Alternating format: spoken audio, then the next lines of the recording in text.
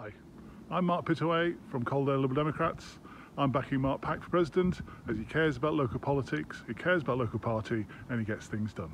Vote Mark Pack.